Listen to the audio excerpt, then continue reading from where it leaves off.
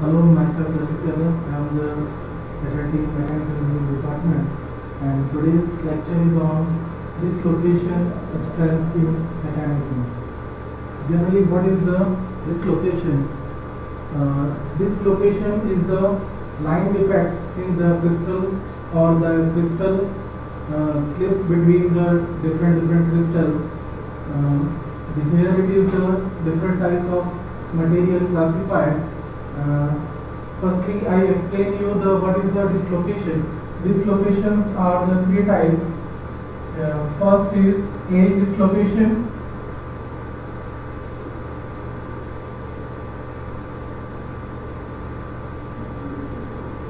Second, is screw dislocation.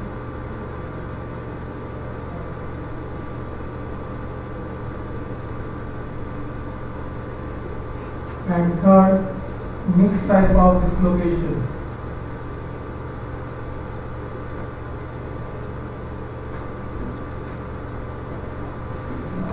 These are the different types of dislocation. Edge dislocation, screw dislocation and mixed dislo- dislocation. One by one, the, here we take the example of these types of dislocation. So, but here, here it is the first classified the material and its dislocation motion.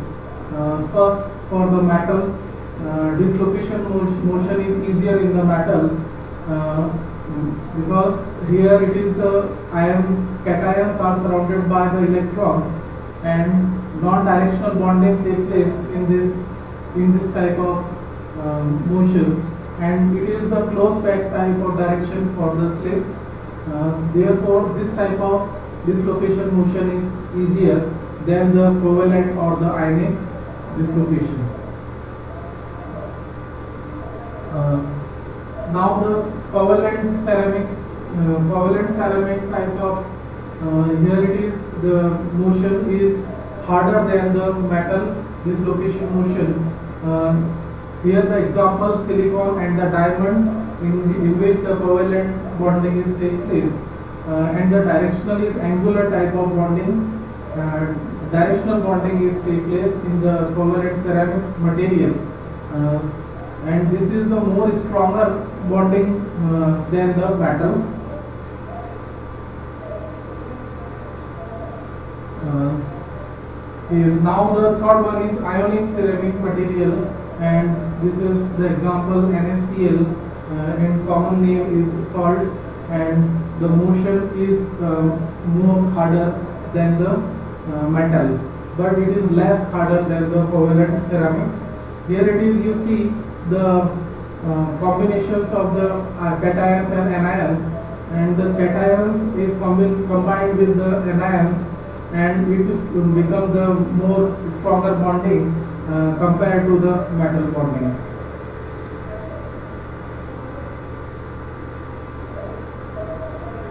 Now here it is the dislocation and the plastic deformation. Uh, here it is we see the first type of edge dislocation, edge type of dislocation. So here it is the edge. This is the edge dislocation line and this is the slip plane. This is the slip plane about which the crystal is moved. And the dislocation, uh, it is uh, generally um, in the cubic and the hexagonal metal. Plastic deformation uh, is by the plastic shear or the slip where one plane of the atom slide over the adjacent plane by the defects of the motions. Okay, here it is. The this is the slip plane about which the, these three lines of the uh, crystals are moved towards the left side and here it is a point this is a point and this is the line defects and this is called the edge dislocation line. A1 is the edge dislocation line. And it is shifted towards the uh, left hand side and you see in the b diagram the shear stresses is on this crystal and the a is shifted to the b and and in third diagram you see the unit step of the slip is occur in the last diagram. Or that uh, it is the fact that if the dislocation dot move the deformation does not occur.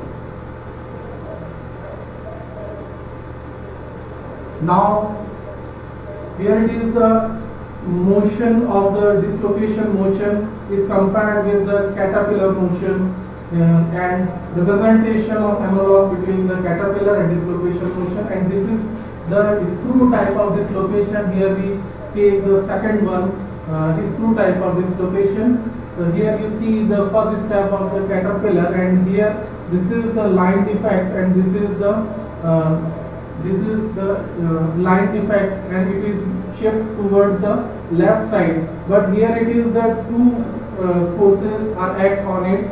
The this is the shear force act on the crystal and this dislocation or this defect is shift towards the left and you see in the second diagram this defect is moved towards in center as you see in the caterpillar motion in the center.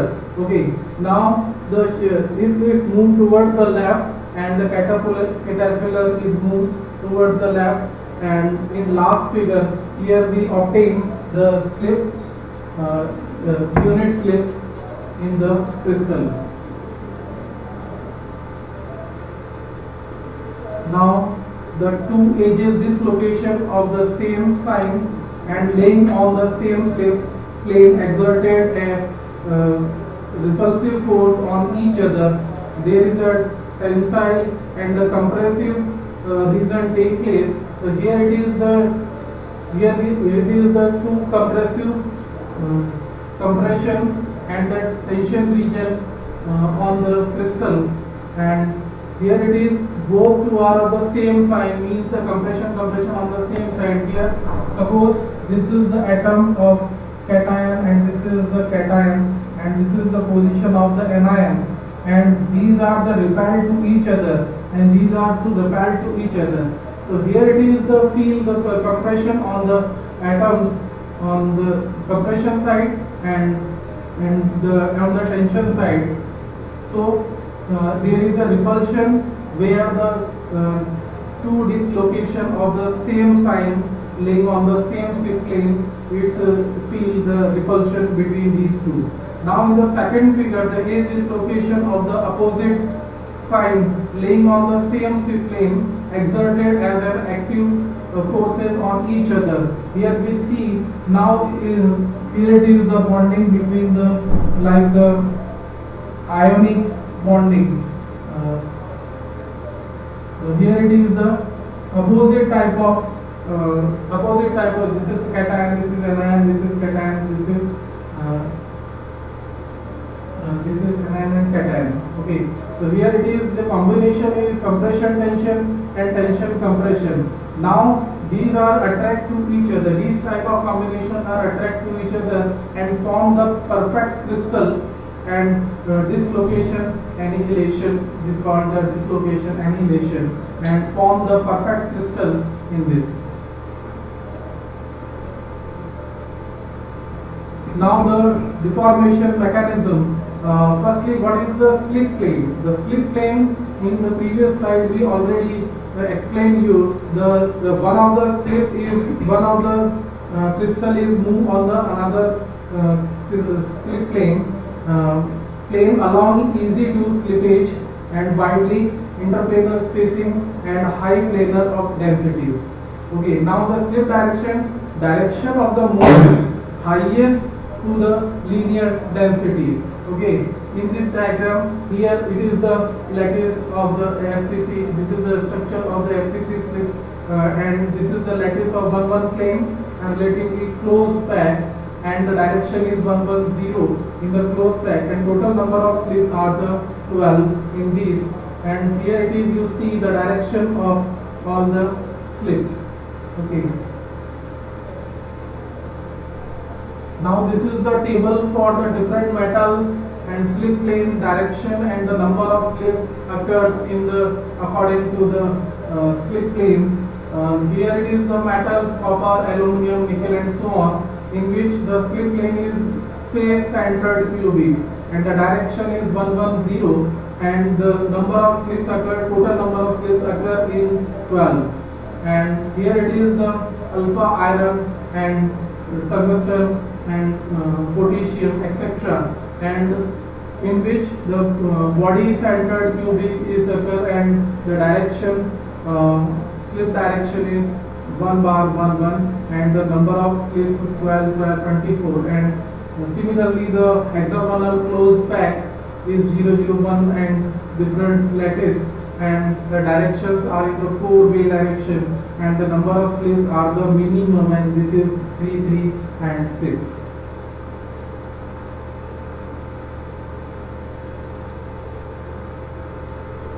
now the stress and the dislocation motion the crystal uh, the, the different types of stresses uh, sorry stress resolved stresses occur in the slip of the crystal.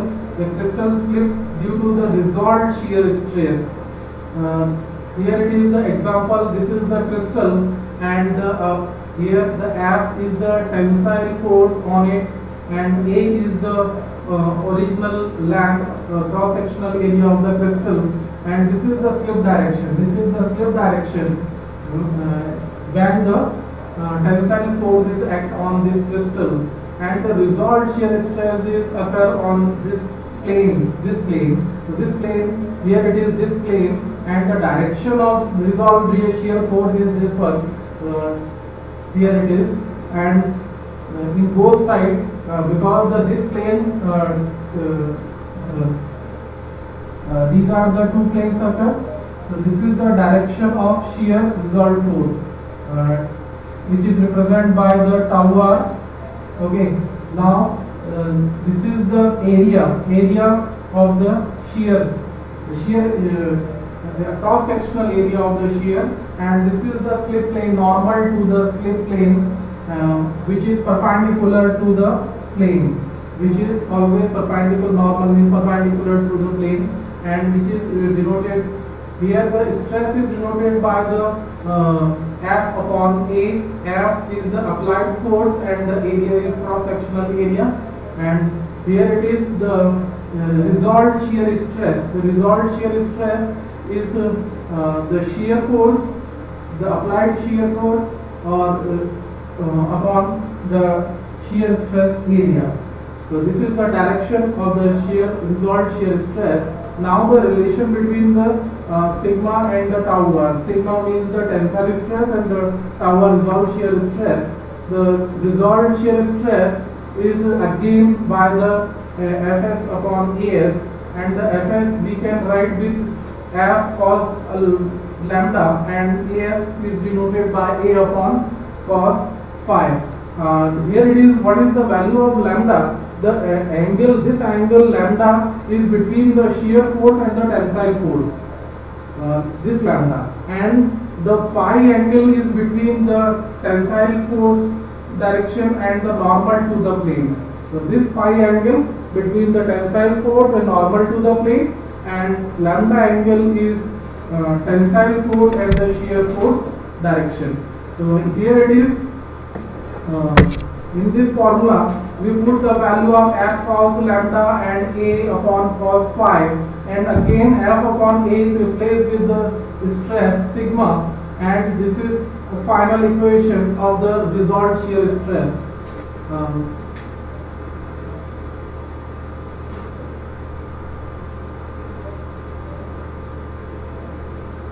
Now the critical resolved shear stress, this value is always less than the resolved shear stress value. The critical resolved shear stress value is always less than the uh, shear stress value. The condition for the resolved motion, this is depends on the different different motion. Here we take the some example or the cases of the dislocation motions.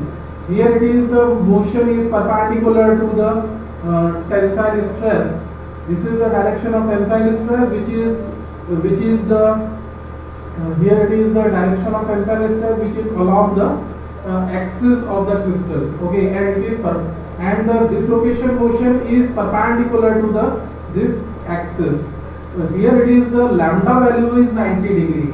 Okay and we already uh, told you uh, lambda value is uh, the angle between the shear force and the tensile force. And this value is 90 degree then there is a no uh, motion take place. And now when the dislocation motion when the lambda value is 45 degree and phi value is 45 degree then the uh, resolved shear stress value is sigma by 2 means it is the half value of the stresses act on this crystal. And now in the third uh, third case uh, it is along the axis of the crystal and the uh, resolved shear stress value is again zero because the phi angle is 90 and the, this critical resolved shear stress value is between the 10 square minus 4 gigapascal to the 10 square minus 2 gigapascal.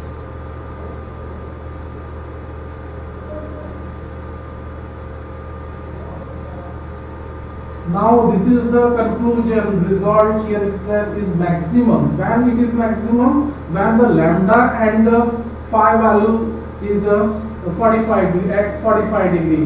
Here we see the uh, angle of the slip and the lambda and the phi value is 45 degree. Then this is a maximum stress occur uh, in this condition.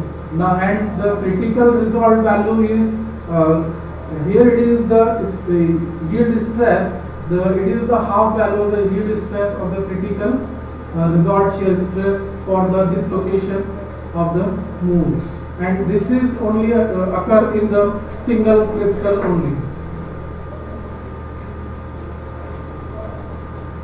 Now here it is the value of theta means the angle uh, angle find out the value of angle means the phi value angle or the lambda value angle by this formula here the u1 v1 uh, w1 it is the direction of the uh, motion of lattice and u2 v2 and w2 is the direction of tensile stress. Here i show you. Uh, this is the direction of u2 v2 and W2 and suppose this is the direction of lattice and this is the U1, V1 and W1 okay so put these value in this formula and find the value of um, lambda and phi. Uh, now here it is the example numerical problem on this uh, formula. Uh, consider a single crystal of BCC iron oriented such that a tensile stress is applied along 010 direction.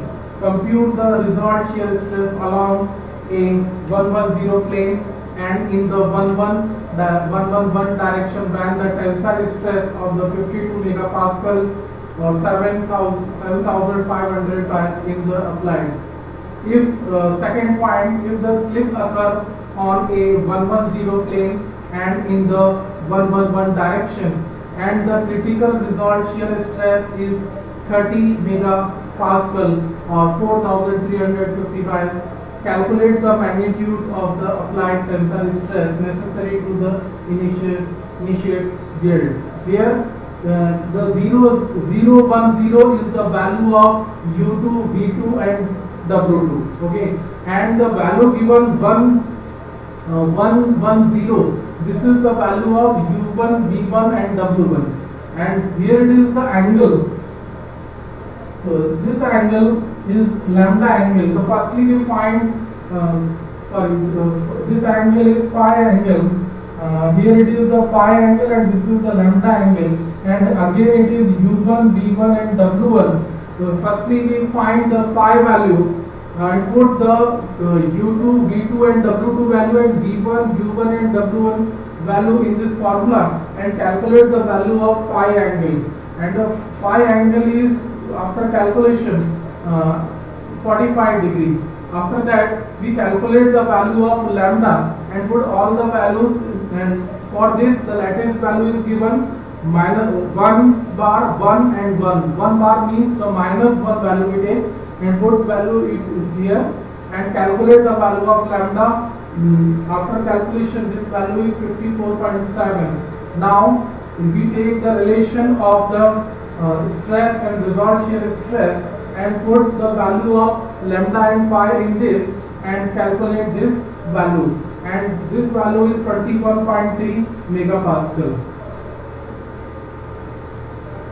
After that the second condition in the in the question and the uh, shear stress value is given that is the result shear stress value is given that is the uh, 30 megapascal put this value in this formula same formula we use and put the value of phi and lambda in this formula and uh, calculate the value of uh, yield stress. And that is the 73.4 megapascal. So this is the numerical problem based on um, relation between the um, tensile stress and the result shear stress. Uh, slip now the slip motion in the polycrystal uh, stronger since the grain boundaries. Here it is the these are the grain boundaries and these are the crystal and these are the grain boundary. When the stronger since the grain boundary fin deformation take place. If the grain boundaries are stronger then the fin deformation take place which means the no deformation means slightly deformation take place. Now the slip plane and the direction phi and lambda change from one crystal to another crystal because uh, here we take the value of lambda and phi this is for the value for the one crystal. And the uh, uh, different different crystal are in the different different orientation. Therefore these value lambda and phi are the change value. Therefore these values are the different for the different uh, plane uh, crystal. Now the TR value means the result shear stress will be vary from one crystal to another. We, I, I already told you uh, the this value uh, is different because the crystal orientation in different different position. Therefore, TR value is also different. The crystal with the largest TR yield first. If the uh, if the TR value is more and more than the yield first, then after it take place. Now this is the effects of polycrystalline material as we say as a relation to the strength. Uh, normally in the pure form the metal is in ductile condition when uh, uh, then the alloy. The alloy are the stronger and the strengthened than the ductile material. Uh, the relation between the dislocation motion and the mechanical behavior of the metal is the significance of understanding the strengthen mechanism. Means to understand the strengthening mechanism it is uh, very important to study about the relation between the dislocation motion and the mechanical behavior of the metal. Now the third point the ability of the metal uh, to the plasticity default depends on the ability of dislocation to the moves. Means it is uh, um, important to the plasticity deformation the dislocation occurs. Uh, now the fourth point um, usually all the strengthening technique depend on the simple principle means the uh, restrict or the hindering dislocation motion renders renders a material harder and the stronger means the when the material is more strengthening than the uh, restrict to dislocation. Now we will consider the strengthening uh, single phase single phase metal and we study the uh, grain uh, grain size reduction, solid solution alloying and the uh, strength hardening.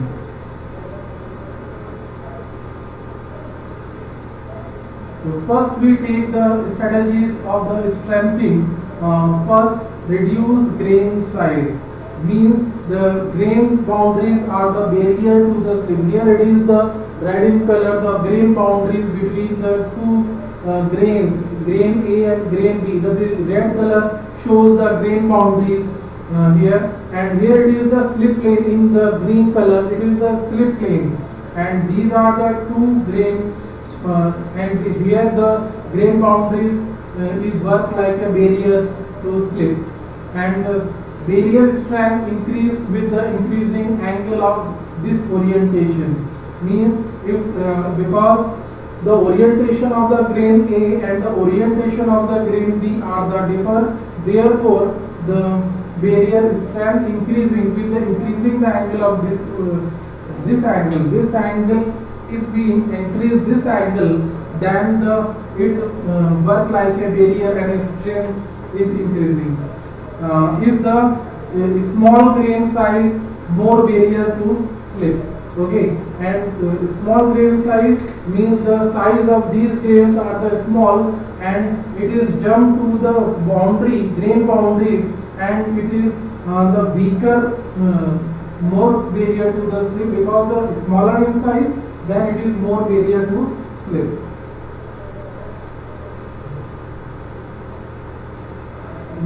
Here it is the Hall-Petch equation uh, by which we calculate the value of yield strength. Uh, this is the formula sigma y equal to sigma 0 plus ky d raised to the power minus 1 by 2. The, or it is written like um, ky upon under root d. Uh, ky is the yield strength and yield strength of the material and here we take the two material copper which is which is 70 percent and nickel the 30 percent. And uh, it is alloy is brass alloy. And here it is on the y-axis we take the yield strength value. On in the x-axis we take the average grain diameter value. And here it is the uniform uniform curve, uh, curve between these two because uh, it is depends on the average uh, average grain diameter. And you see in the about line uh, grain size is obtained here and the when the grain diameter increase from right to left it means the if the grain diameter is smaller then the strength is more as we say in the previous slide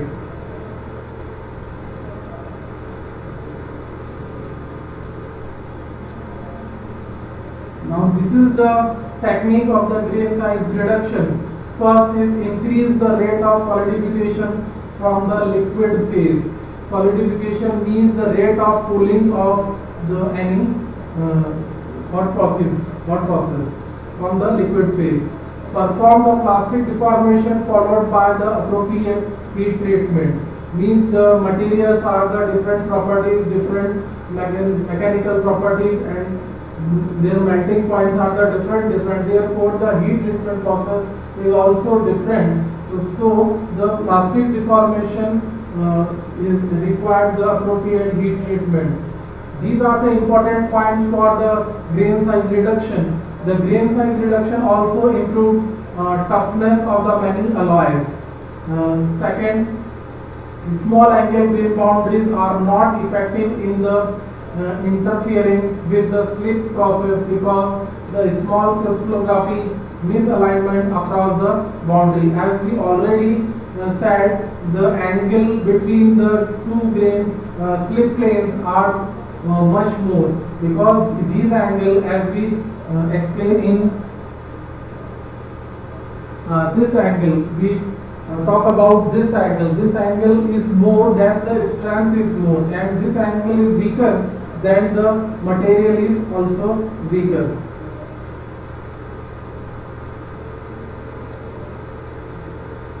Uh, boundaries between the two different phases is also barrier to the movement of dislocations. The grain boundary, we are talking about the grain boundary is a boundary between the two phases. Two phases means solid phase or liquid phase. It is also the barrier of the movement of dislocation. So these are the important points of the grain size reduction techniques.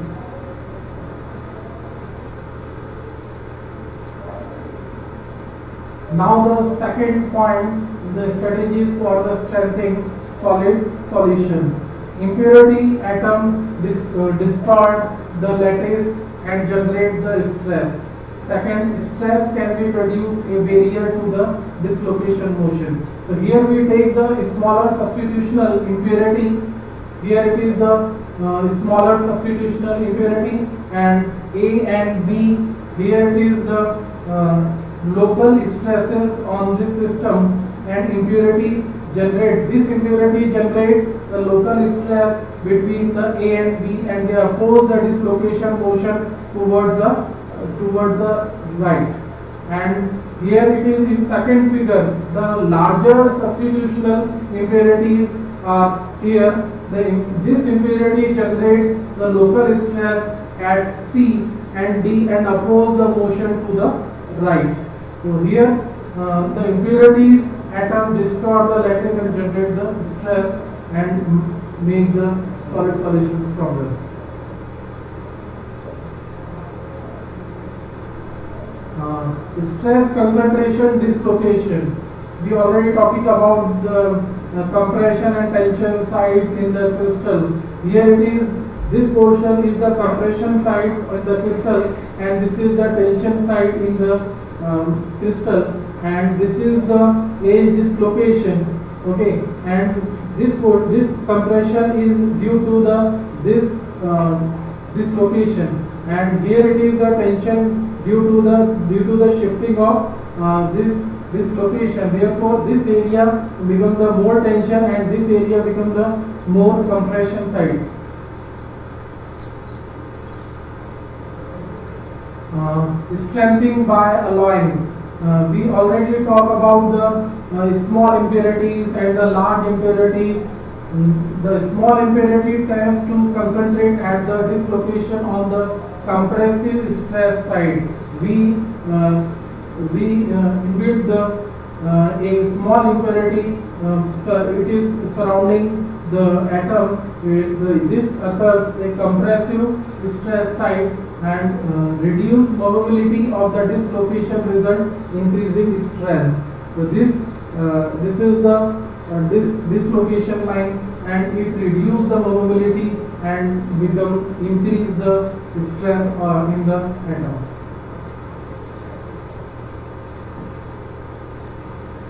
Now strengthening by alloying the large uh, impurities, the construct, uh, concentrate uh, at the dislocation on the tensile stress side means the holding dislocation. Possible uh, location of the larger impurities atom uh, relative to the edge dislocation such that there are the partial cancellation of the impurity dislocation lattice strength. Here it is the large size of impurity concentrate at the dislocation and it feel the tensile stress on this side in the surrounding side and here again it is the dislocation occur here and it is partially cancellation uh, dislocation cancel dislocation such that the partial cancellation impurity or lattice uh, dislocation lattice strength.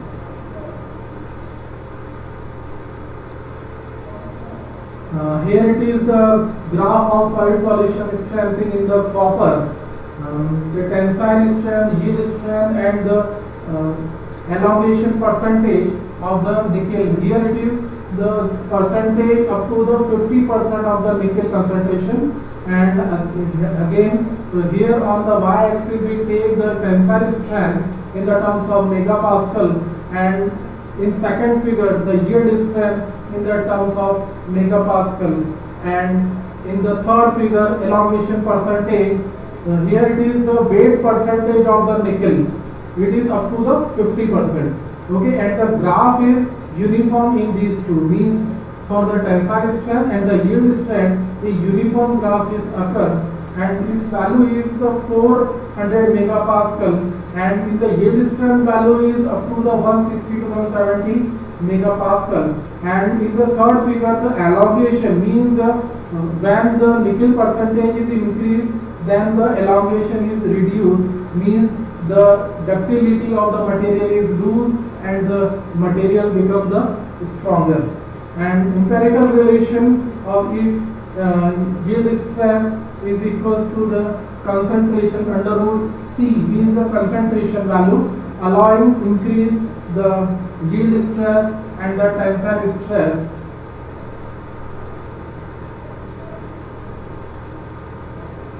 Now the third point, precipitation strengthening. This point is again strategies of the strengthening.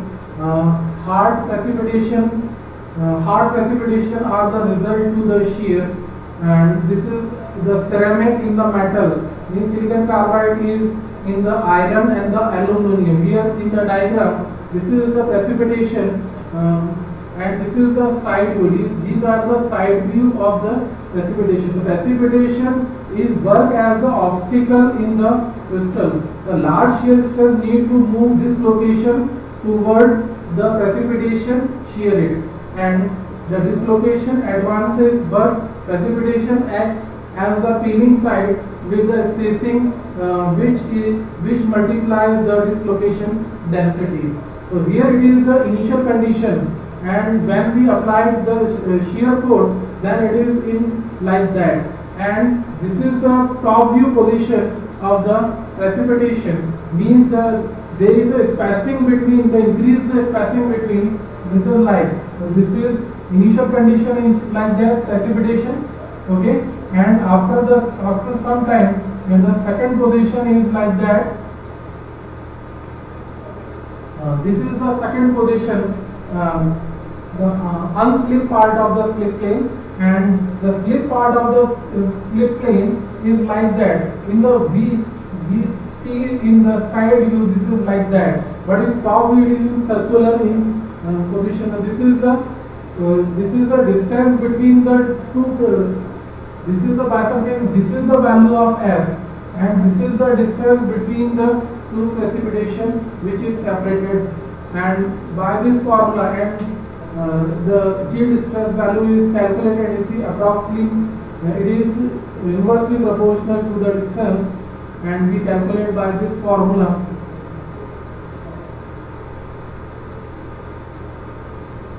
uh, this is the application of the precipitation strengthening. Here it is the aeroplane the internal wings structure of the Boeing 767 uh, here it is the precipitation is strengthening of these wings the aluminum is strengthening with the precipitation formed by the alloying and the heat treatment. Here it is we see the spot in this diagram. Here it is the precipitation in the alloying of the aluminum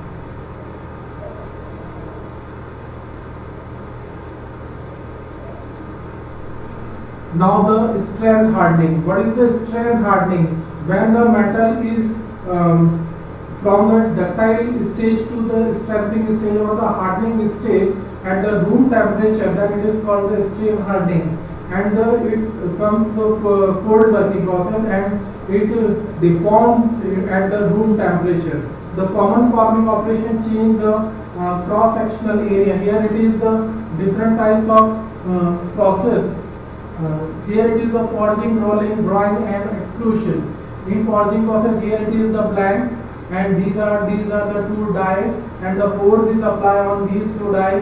The initial area of the blank is AO and AD is the deformed area and calculate the cold per percentage, cold per percentage by this formula. The AO is the original area minus the deformed area upon the the original area into 100. So by this formula we calculate the value of uh, cold work. And in second figure this is the rolling and this is the drawing. This is the these to dies and we push the rod with the tensile force and its area is decreased and in ex extrusion again the ram is pushed with the force and the blade is extruded and uh, between the dies and the area is again reduced and this area is the deformed area and it is only occur at the room temperature. This is the examples of the strain hardening.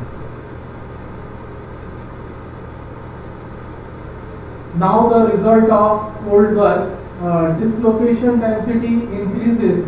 Carefully prepared the sample, uh, rho d is approximately equal to the 10 raised to the power 3 millimeter per millimeter cube and the heavily deformed sample uh, rho d uh, is approximately equal to 10 raised to the power 10 millimeter uh, per millimeter cube. Uh, here it is a box with its volume is B and we take uh, some samples L1, L2, L3 and the density of these two uh, systems we measured by this formula uh, rho d is equals to L1 plus L2 plus L3 upon V. So by this formula we calculate the value of dislocation density which we increase and here it is the M is the dislocation pits relevant to the teaching and A is the area whole area of the uh, blocks and dislocation pits is like that. This is the uh, cracks in the surface or uh, air defects in the surface. So by this we calculate the value of uh, dislocation density increases. Uh, in this figure, the yield stress increases uh, as the density, uh, dislocation density increases. Here it is, the, this is the strain and this is the stress diagram. So large hardening occurs when the yield strength value is more and the small uh, hardening when the yield strength value is less. So it is depends on the uh, dislocation density.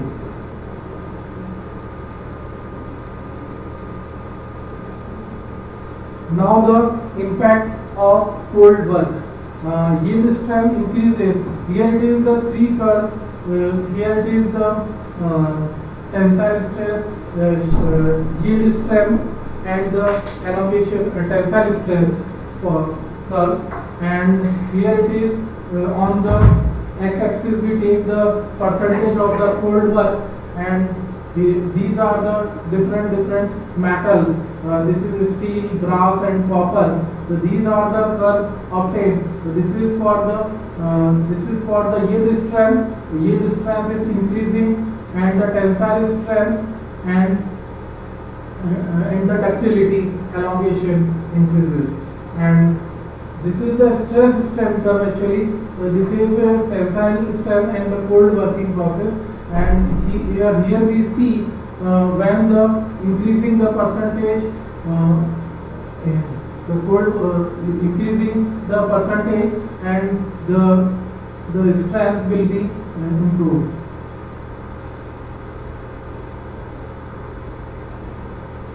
Cold work analysis. By this formula we use this formula and here it is we take the a simple column. The, here the initial diameter of the rod is 15.2 millimeter and the, after the deformation the diameter will be 12.2 millimeter after the deformation and here it is the curve as we see in the previous slide.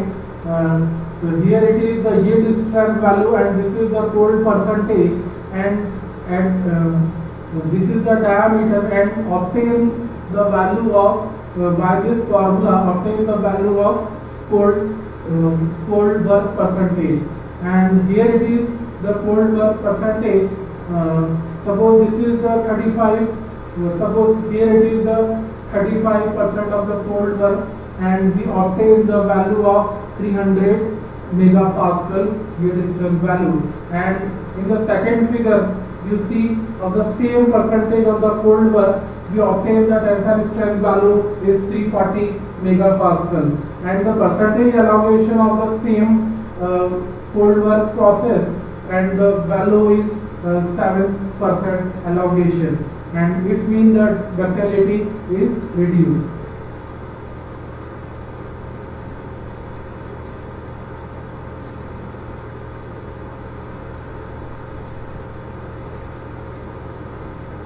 Now the behavior of the stress strain versus the temperature. Here we take again uh, this is for the result for the polycrystal iron. And here is the stress strain curve. And you see the there is a different temperature. So on 25 degrees temperature the strain value is more.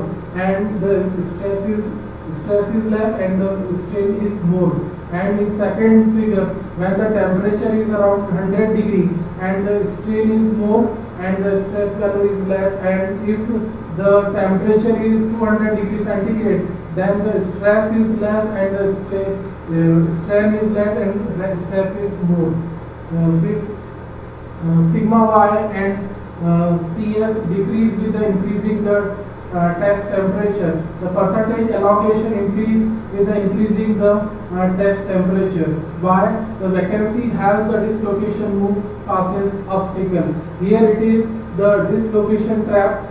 Here it is the dislocation trap. Here it is the precipitation. Uh, as we already explained in the previous slide, it is the precipitation obstacle and dislocation trap by the obstacle and vacancy replace the atom on the dislocation half. Here it is the to push the atoms in the vacancies and here it is.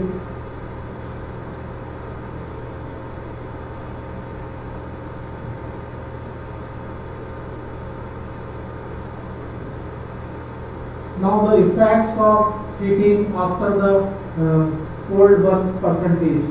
After the one hour of the heat treatment at the uh, at T annealing uh, decreases the tensile strength and increase the elongation percentage. And effects of the cold burn are the reversed. And here we see the tensile strength and these are the um, properties of the metal.